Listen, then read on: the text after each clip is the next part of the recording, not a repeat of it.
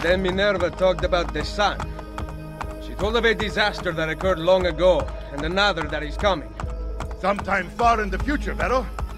Then we need not worry about it. See. Perhaps our work is finished. Would that be so bad? Oh. we upgraded the arsenal while you were away.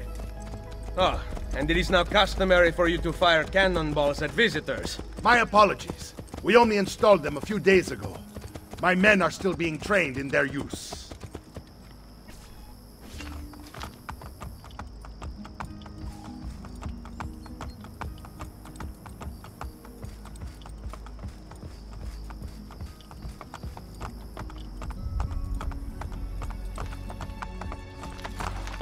Oh.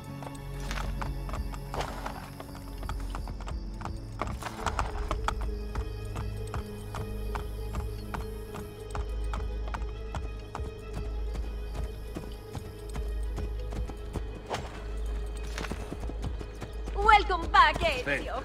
Oh. Madonna. Ezio! Look, it is Ezio!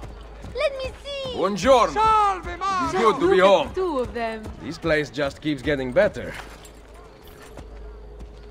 Thanks to you. Brother! Claudia. It is good to be home. How is mother? She's fine. I, I heard you were returning, but I'm glad to see it with my own eyes. The Contessa of Forli is here to welcome you. I had no idea you were so famous. Caterina? Here?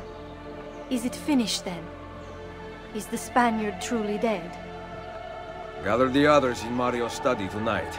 I'll explain everything there. Steel yourself, Ezio. They will have many questions.